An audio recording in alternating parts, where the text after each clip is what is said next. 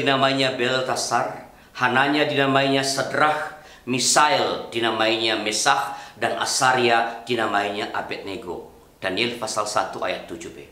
Sahabat GKI, dalam hidup ini kita terkadang terkadang terjadi perselisihan-perselisihan hanya karena hal-hal yang sepele. Ada banyak orang yang mengalami benturan dengan sesama, tak bisa berkarya dengan optimal, gagal menghasilkan karya-karya yang hebat yang sebenarnya dapat ia hasilkan hanya karena mempersoalkan hal-hal kecil yang tidak prinsipil. Seorang penyanyi dari sebuah kelompok vokal gagal tampil bersama dengan kelompoknya untuk menggantikan satu kelompok lain yang mendadak gagal tampil dalam suatu event peristiwa pertunjukan yang sangat besar karena ia merasa tidak dihargai. Sebagai penyanyi utama, ia merasa disepelekan karena ia adalah orang yang paling terakhir dihubungi oleh sang koordinator mengenai event, mengenai penampilan, pementasan mereka itu. Menurut dia, sebagai penyanyi utama, ialah yang semestinya dikontak, dihubungi lebih awal. Karena ia merasa yang paling penting dalam kelompok itu. Akhirnya sahabat GKI, ketika kelompoknya berhasil tampil dengan baik, bergembira karena sambutan yang hangat dari para penonton pada waktu itu dan bayaran yang memadai.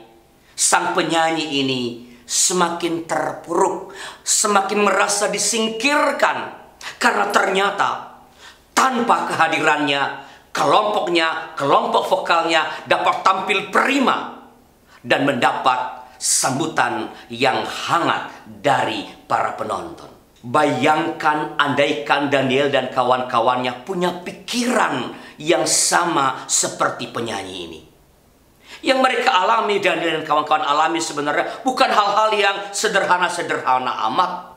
Nama mereka diganti, diganti dengan nama-nama dalam memakai bahasa setempat.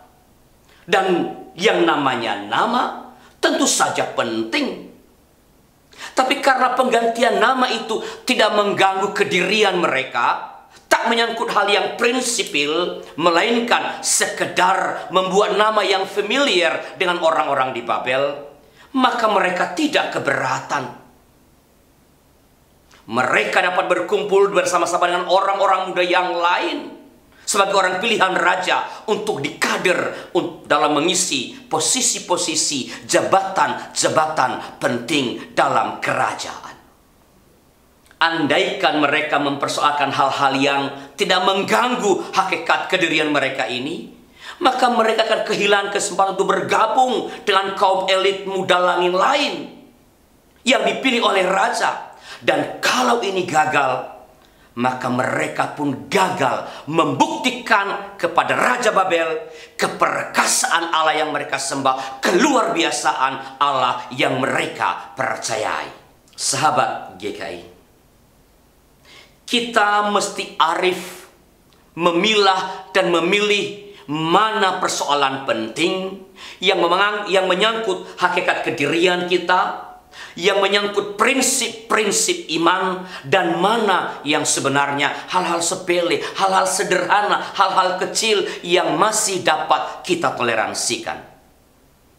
Jangan biarkan, jangan pernah biarkan hal-hal yang tidak prinsipil menghalangimu untuk berkarya optimal, menghalangimu untuk memberikan sumbangan yang terbaik, menghalangimu untuk memberikan karya-karya terbaikmu untuk kehidupan bersama.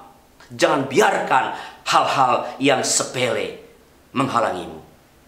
Untuk hal-hal tertentu yang tidak prinsipil, memang kita perlu terus belajar mengatakan, kalau yang ini nggak apa-apa. Terima kasih telah menyaksikan program ini. Bila program ini memberkati Anda, silakan bagikan kepada sahabat-sahabat yang lain. Saya Arliano Tarosa, salam GKI, Genta Kasih Indonesia, Tuhan memberkati. Puji namanya yang kudus,